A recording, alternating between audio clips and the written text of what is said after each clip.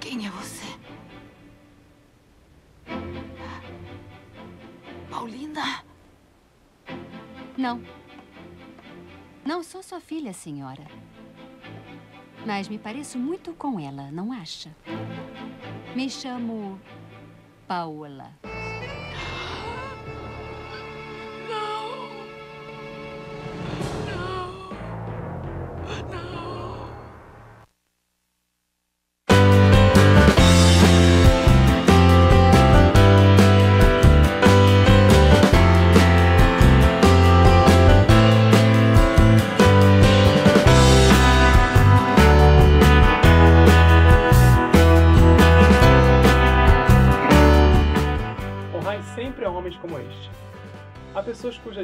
Dão testemunho do poder transformador de Cristo.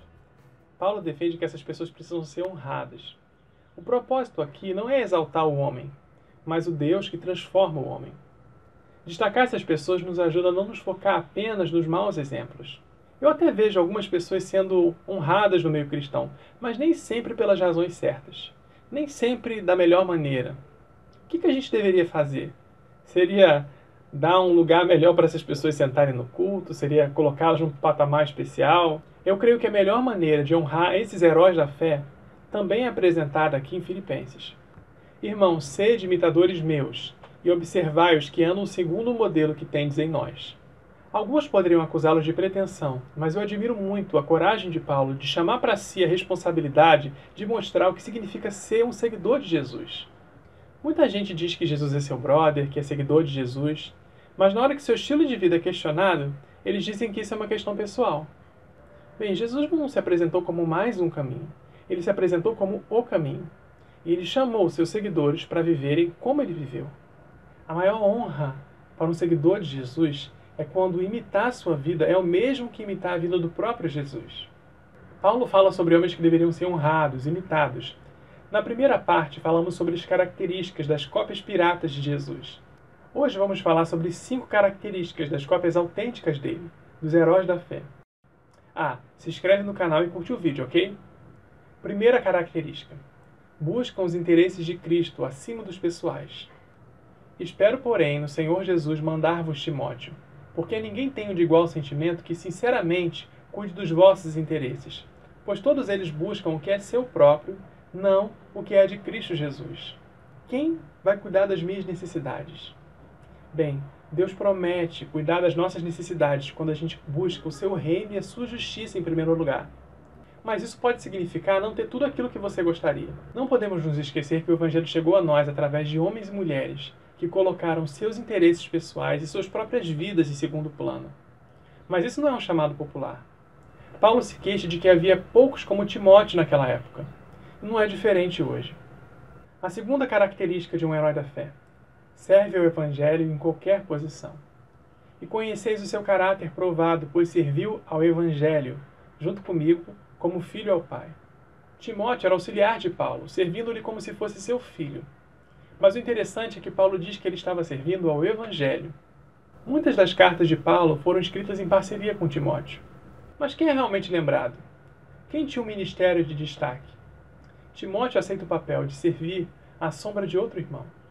A pressão para se destacar hoje é muito forte. Todos querem ser líderes, querem ser os primeiros. Pelo avanço do Evangelho, quantos estão dispostos a aceitar um papel de menor destaque, enquanto o outro recebe mais reconhecimento? Terceira característica dos heróis da fé: estão dispostos a dar a própria vida. Epafrodito tinha sido enviado pelos irmãos para entregar uma oferta a Paulo e para ajudá-lo com qualquer necessidade que ele tivesse. Paulo estava preso, lembram? Pois ele foi, ajudou Paulo e a carta conta que ele ficou doente ao ponto de quase morrer. Tanto é que Paulo o envia de volta para consolar os irmãos. Recebei-o, pois, no Senhor com toda alegria e honrai sempre a homens como esse, visto que por causa da obra de Cristo chegou ele às portas da morte e se dispôs a dar a própria vida para suprir a vossa carência de socorro para comigo. Quarta característica: são estrangeiros no mundo. Pois a nossa pátria está nos céus, de onde também aguardamos o Salvador, o Senhor Jesus Cristo. Mesmo aqueles que não são cristãos conseguem entender que falta alguma coisa nessa terra. Eles passam a vida toda lutando para conquistar o mundo, só para chegar no final e entender que nada disso tem sentido.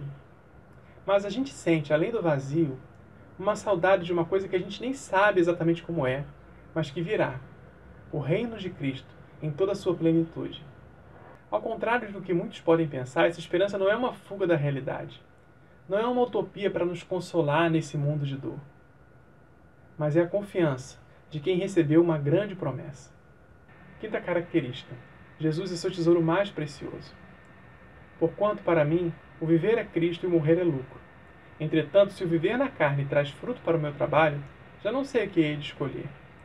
Ora, de um e outro lado estou constrangido, tendo o desejo de partir e estar com Cristo, o que é incomparavelmente melhor. Mas por vossa causa é mais necessário permanecer na carne. Se alguém tinha razões para estar de saco cheio desse mundo, era Paulo, no entanto, a atitude dele não era de fuga. Seu maior desejo, ele admite, era estar com Jesus. Mas porque ele vivia para Cristo, ele queria cumprir o chamado que Jesus tinha lhe feito, de cuidar dos irmãos. Gente, a minha lista não é completa. Mas nós precisamos de referências, de heróis, para nos mostrarem o que significa seguir Jesus. Eu vejo algumas pessoas ganhando destaque no meio cristão por serem talentosas, inteligentes, bem-sucedidas. Não que essas pessoas sejam maus exemplos, mas elas pintam um quadro medíocre do que realmente significa seguir Jesus. O resultado na vida desses imitadores é que eles experimentam a presença de Deus. O Deus da paz é com eles. Ah, mas Deus não é onipresente? O seu Espírito não habita em nós? Sim, é verdade. Mas por que às vezes a gente não sente que Ele está conosco? Porque somos tão dominados pela ansiedade. Entregamos as coisas a Deus e tomamos de volta.